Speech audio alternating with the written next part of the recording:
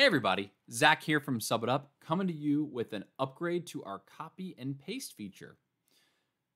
If you would like to take a week that I've already created here in my calendar and copy it forward into the future, either all for every single week into the future or for a rotating period, every other week, every three, three weeks, things like that, you are going to be able to use this feature to accomplish those goals. So after I've created this week on my calendar, I'm going to go to Schedule Tools on the right-hand side and I'm going to choose copy and paste shifts. Now, this is a little different than what it looked like previously, but now on this first page, you're going to choose your source week.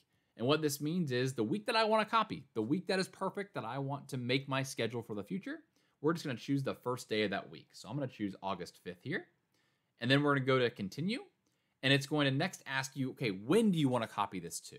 So if you are somebody that needs to take one week and copy it that same week for the next, let's say 15 or 16 weeks all in a row, you're just going to want to choose the very next week. So you'll choose the 12th, and then it's going to say, do you want to rotate this? Do you want to copy it every other week or just every single week? If you are somebody that is just consistent, you want to have every one week and you can choose your end date. And you can go all the way up to a year. So I want to go to 15 weeks at a time. What is going to show down here is what days that this week is going to be copied to. So you can see it is every single week. I could even say don't copy my weekends, just do Monday through Friday by unchecking these boxes so you can choose which days that are here. However, if you do more of a rotating schedule, so let's say it's every two weeks or so that the schedule is rotating, you will then choose where it says starting from, you'll skip a week. So you'll say, I want this week one schedule to start on August 19th, and I want it to repeat every other week. So every two weeks, until whatever date that I picked as my end date. And this is going to show you, okay, we're going to take the source week, the week of the 5th, and we're going to copy it to the 19th, and then the 2nd, and then the 16th, and so on and so on. If you rotate every three weeks, you could have it, you could do that, or every four weeks. So this is really built to give you all a lot more customization on how you want to copy and paste. So after you've chosen what you want to copy and paste to, we hit continue. And then these questions should look familiar. You're going to be able to choose uh, what positions do you want to copy for. Again, it's only going to let you choose what you have on the calendar. But if you have multiple positions loaded on the calendar, you can copy for multiple positions at once. But I only have front desk, so it's only going to let me choose one right now.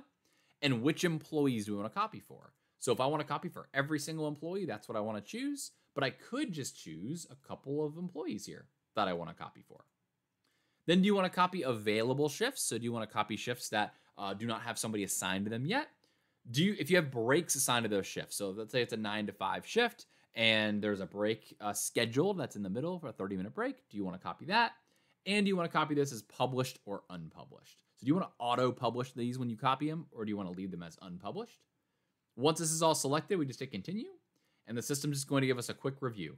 This is what we're doing. Here's the source dates. This is the destination. This is where it's going and it's going to be copied for every one week for the next this many weeks and this many days. It's going to give you the full info. Make sure to review this page before you hit the copy shifts button because at that point, it will copy exactly what you um, have selected. After that function completed is completed, your shifts have been copied. If you have any questions at all about this change or about your certain scenarios and how you do things, feel free to reach out to us. Our number is 617 401 8733 our email is support at subitup.com, and our office hours are weekdays from 9 a.m. to 5.30 p.m. Eastern Time.